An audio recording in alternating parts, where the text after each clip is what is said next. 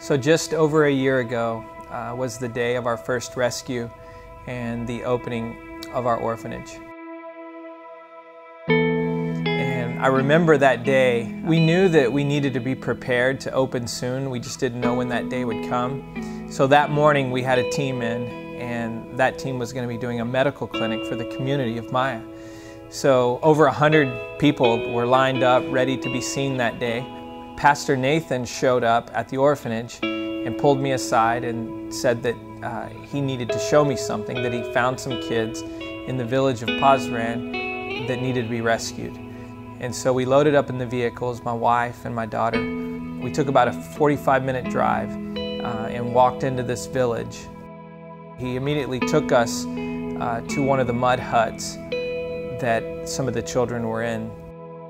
I remember walking up to the mud hut not having a clue what I was about to see. And I look inside and I see these four children and the fifth was running around. She was a little bit older and she, it was obvious that she was probably taking care of them. I just remember looking in there going, why? Just the anger, the I was sad, I was mad, I was I was glad that we were there and that we potentially could rescue them, but just the emotions that were that were rising up. And, and for a minute, I, I almost could feel maybe a glimpse of what God feels when He looks around the entire world and there are those situations. And I think, man, you know, God, please send someone to rescue those children. I looked around for Pastor Nathan, and he was over by a tree just crying because of the situation. So I asked him if these children needed to be rescued, and he said yes.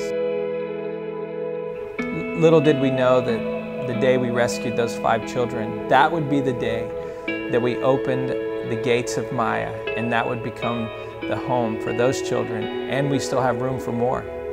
And now their six basic needs are being provided for every single day uh, thanks to our faithful partners and those who come and serve and love them and go back and sponsor this orphanage. You know, even this October, uh, we opened the, the doors to our new school, and over 100 children are being educated now every single day. Uh, not just our orphans, but also uh, children from the village and the surrounding villages of Myan.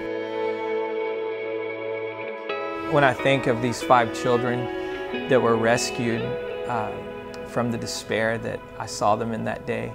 And now when I look at them, when I go visit and I look at them and I look into their eyes, I, I don't see that same look. I don't see death. I see life. I see children that are daring to dream because now they know that there's a future for them. I think one of the things that just fuels me to do what I'm doing and fuels our Coreluv team to do what we get to do is that when I look at these kids and I, and I reflect back on that day and I think about what their dreams might have been, nothing comes to mind except maybe just to eat that day or to have some clean drinking water or maybe just to be loved on. And even that they didn't get. But now, uh, when we ask them what their dreams are, they have answers. They're starting to dream now for the first time, whether it's to be a lawyer or a doctor or a nurse or a school teacher or a pastor or missionary or a worship leader. That is what I'm excited about. That is what fuels us to keep going because now these kids have a dream.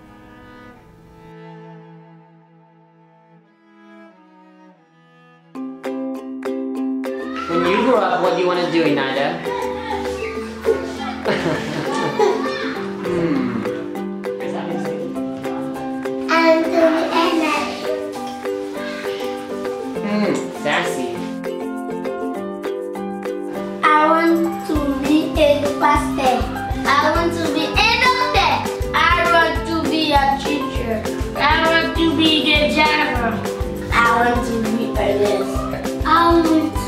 the doctor. I want to be a pastor. I want to be the police. I want to be a pastor. I want to be a chef.